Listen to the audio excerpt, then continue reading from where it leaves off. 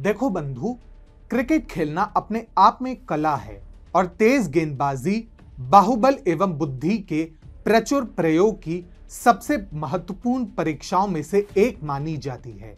नमस्कार, स्वागत है आपका टीएफआई पर और मैं निमेश पांडे आपको अवगत कराऊँगा एक ऐसी बिरादरी से जो किसी समय विश्व में अपनी कला के लिए विश्व प्रसिद्ध थे, परंतु अब हास्य का प्रतीक बन चुके हैं। जी हाँ, हम बात कर रहे हैं पाकिस्तानी पेस गेंदबाजों की, जिन्हें तेज गेंदबाज समझने की भूल से भी भूल ना करें। तो अविलंब आरंभ करते हैं।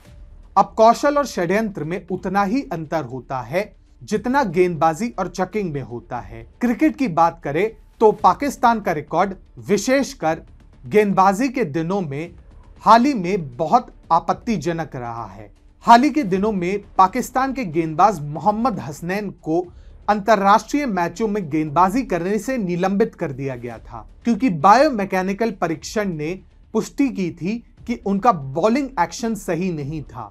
लेकिन वे अकेले नहीं हैं, जब पाकिस्तानी गेंदबाजों का इतिहास ही चकिंग या अन्य प्रकार के बेईमानी से परिपूर्ण हो तो अब तो ऐसे में पाकिस्तानी खिलाड़ियों की एक लंबी सूची है, जिसमें हर बार चकिंग का नाम दोहराया जाता है। दरअसल 21 वर्षीय हसनैन को पिछले महीने ऑस्ट्रेलिया की बिग बैश 2020 लीग में सिडनी थंडर के साथ एक संदिग्ध कार्रवाई के लिए रिपोर्ट किया गया था, जिसके बाद उनके बॉलिंग एक्शन को लेकर 21 जनवरी को एक टेस्ट किया गया। ये टेस्ट लाहौर में आईसीसी के मान्यता प्राप्त परीक्षण केंद्र में आयोजित किया गया था और रिपोर्ट में मोहम्मद हसनैन की गेंदबाजी एक्शन को अवैध पाया गया था। वहीं इस मामले पर पीसीबी ने अपनी प्रतिक्रिया देते हुए कहा था कि पीसीबी को आज मोहम्मद हसनैन के मूल्यांकन परीक्षण पर क्रिकेट ऑस्ट्रेलिया से एक औपचारिक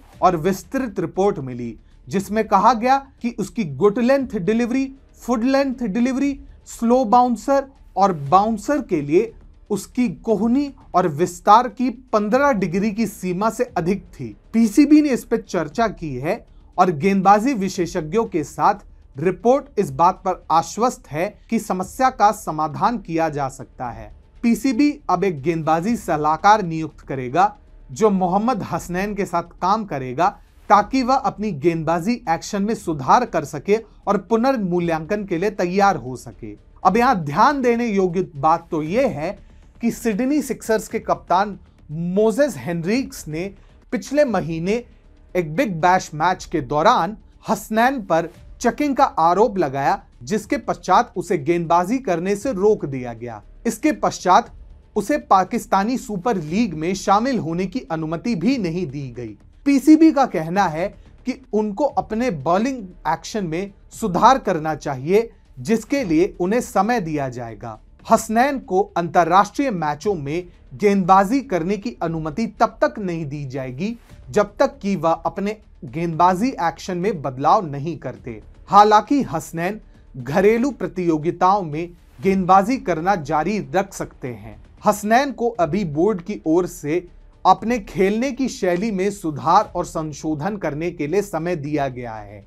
पर जब इतिहास ही चकिंग और भ्रष्टाचार के छींटों से भरा हुआ है तो पाकिस्तानी खिलाड़ी आज नहीं तो कल फिर से इसे दोहरा सकते हैं। आज हसनैन है, कल कोई और खिलाड़ी होगा। गौरतलब है कि पाकिस्तान के क्रिकेट इतिहास में चकिंग सबसे बड़ा किरदार निभाता आया है। पाकिस्तानी गेंदबाजों की बात करें तो शोएब अख्तर से लेकर सैयद अजमल, मोहम्मद हफीज इत्यादि उन खिलाड़ियों में से है जिनके खेल इतिहास में चकिंग एक अहम भूमिका अदा करता आया है।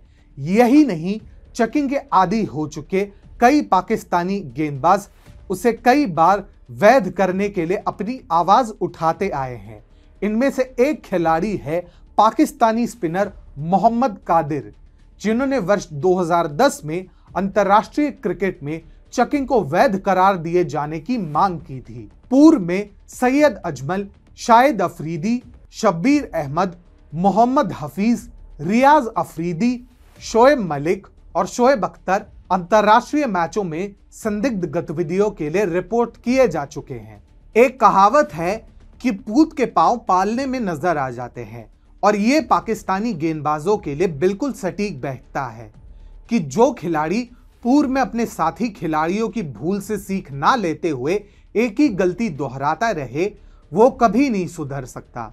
क्योंकि इसे गलती सुधारना नहीं, दोहराना आता है। चेकिंग को वैध करने की मांग करने वालों को उसको रोकने के लिए कौन ही प्रेरित कर सकता है? जब उनकी नज़र में ही वो खेल का भाग है।